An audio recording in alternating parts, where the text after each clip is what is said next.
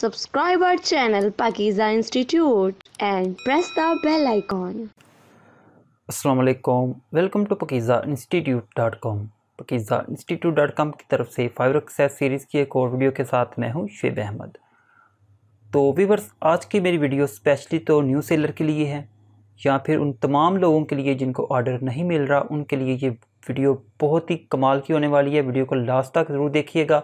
और इस वीडियो के अंदर मैं आपको एक ऐसा तरीका बताऊँगा जिस पे ऊपर अगर आप अमल करते हो तो सात दिन के अंदर पूरी गारंटी के साथ आपको ऑर्डर ज़रूर मिलेगा।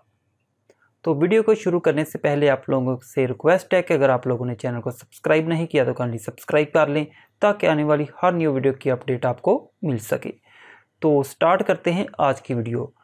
सबसे पहले मैं आपको बताता हूँ, वो वक्त कि अगर उस टाइमिंग में अगर आप ऑनलाइन रहते हैं फाइवर पे तो आपके जो ऑर्डर मिलने के चांसेस हैं वो 99 परसेंट ज़्यादा हो जाते हैं।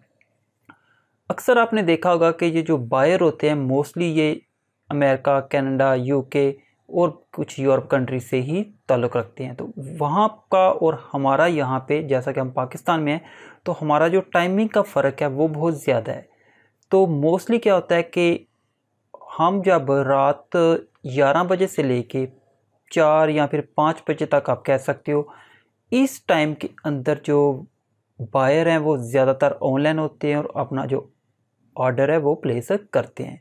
तो अगर आप सात दिन, ये जो टाइम मैंने बताया, ग्यारह से चार या पाँच बजे के दरमियान ऑनलाइन रहते हैं तो पूरी गारंटी है कि आपको ऑर्डर ज़रूर मिलेगा। इसकी कुछ वजूहत भी हैं, वो भी मैं आपको बताता हूँ। ये नहीं कि आप उस वक्त ऑनलाइन रहोगे तो आपको ऑर्डर मिलेगा ही मिलेगा।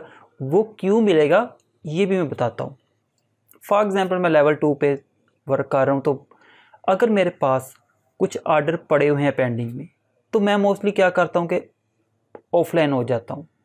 या फिर ऑफलाइन ना भी हो तो ये नहीं कि अब मैं पूरी रात जाग के ऑनलाइन ही रहूँ। तो ओके, इसकी वजह से क्या होता है कि जिन लोगों के पास ऑर्डर हैं, वो ऑफलाइन हो जाते हैं और जो न्यू सेलर होता है, उसको काम मिलने के चांसेस जो हैं, वो बहुत ज़्यादा हो जाते हैं। मतलब कि इस पीरियड के अंदर, इस टाइम के अंदर न्यू सेलर की लिए बहुत ज़्यादा अपॉर्चुनिटी होती है ऑर्डर मिलने की, क्योंकि इस वक्त जो कंपटीशन है, थोड़ा सा लो हो जाता है।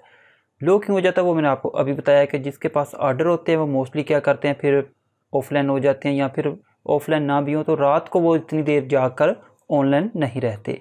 क्योंकि यहाँ पे मैं आपको बता दूँ कि जो बायर होता है, वो जब भी ऑनलाइन आता है, उसकी कोशिश होती है 99 परसेंट उसकी यही कोशिश होती है कि जो उस वक्त ऑनलाइन है, वो किसी ना किसी को अपना काम हैंड ओवर कर दे। बजाय इसके कि किसी ऑफलाइन वाले को वो मैसेज करे, वो तीन या चार घंटे के बाद उसको फिर रिप्लाई करे, फिर वो अपना काम उसको हैंड ओवर करे। तो वो हंड्रेड परसेंट ही मेरे ख्याल से तो ये ट्राई करते हैं कि जो उस वक्त ऑनलाइन है, उसी को ऑर्डर प्लेस कर देते हैं।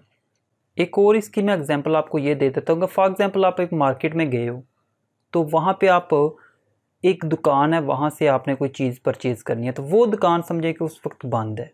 तो आप क्या दो या तीन घंटे वेट करोगे, ये शॉप ओपन और मैं यहाँ से कोई चीज़ ख़रीदूँ, या फिर आप इस चीज़ को प्रेफर करोगे कि साथ वाली किसी दुकान जो कि उस वक्त ओपन है, वहाँ से कोई चीज़ ख़रीद लो। तो डेफिनेटली आप जो उस वक्त शॉप ओपन होगी, उसी से ही कोई ना कोई चीज़ परचेज़ कर लोगे। तो सेम ऐसी ही थिंकिंग बायर की होती है।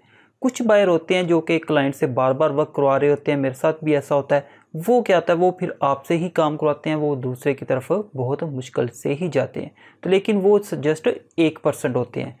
बाकी जो नाइन्टी नाइन परसेंट होते हैं, उनका टारगेट यही होता है कि जो उस वक्त ऑनलाइन है, उसको वो काम दे दें और उसे ऑर्डर प्लेस कर दें। या इसके कि किसी ऑफलाइन वाले को मैसेज करके उसका वेट करते रहें। तो ओके व्यूवर्स ये तो थी हमारी आज की वीडियो। और इस पर आप अमल करेंगे तो इन ताला मैं आप गारंटी देता हूँ कि आपको एक हफ़्ते के अंदर ऑर्डर ज़रूर मिलेगा। शर्ते अगर आपने बेसिक जो रूल हैं उसको फॉलो किया हुआ है। वो कौन से रूल हैं वो भी मैं आपको आने वाली वीडियो के अंदर बताऊँगा टाइटल के बारे में बताऊँगा। इंप्रेशन क्या होते हैं क्लिक क्या होते हैं और क्लाइंट टेंशन क्या होती है, इन सब चीज़ों के बारे में हम डिटेल से सीखेंगे। तो तब तक के लिए मुझे इजाज़त दें। अल्लाह